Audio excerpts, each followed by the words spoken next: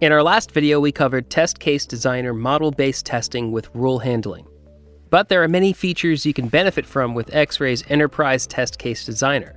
Let's jump back into our hotel booking system example and where we left off.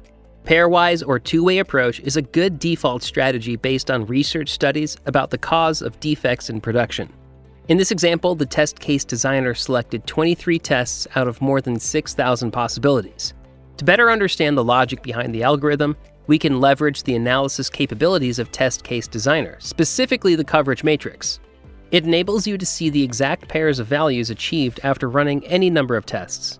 The order of scenarios is important, as can be seen from the coverage graph. The Test Case Designer algorithm not only selects the smallest mathematically possible subset of tests to achieve the coverage goal, but also prioritizes them to maximize variation upfront and lower the overall defect risk. By the end of the table, you'll hit strong diminishing returns in incremental coverage improvement, so stopping the execution is relatively safer. Once you're happy with the interaction coverage and before we move those optimized tests to Xray, we need to add the execution instructions. Test Case Designer provides several options, including data-driven scripting for manual testing. On this screen, we'll create and maintain just a single template where we pass the parameter names in the steps instead of hard-coding the values for each script. Expected results can be added in a similar fashion using parameters or with the help of when-then statements. When we sync to Xray via API, that data-driven template setup will quickly create a test issue per row of the scenarios table.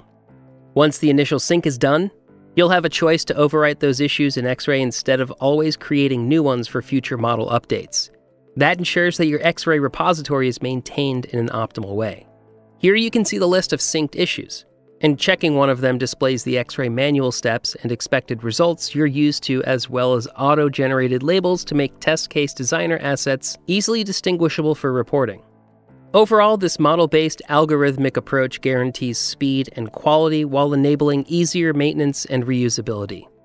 Combine Xray test management, execution, and reporting capabilities with the optimized scenarios from Test Case Designer.